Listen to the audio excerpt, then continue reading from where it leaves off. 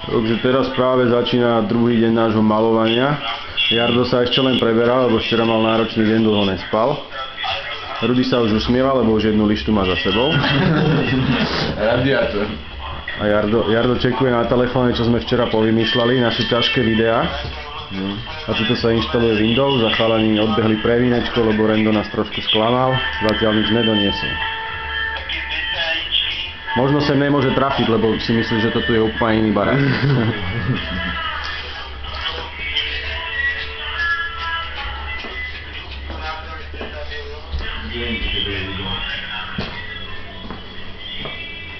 Tak to vyzerá Janči, tvoja bývalá kuchyňa, inak. A pozri, vidíš, jak to tu žiari? Ale uvidíme, že dokedy.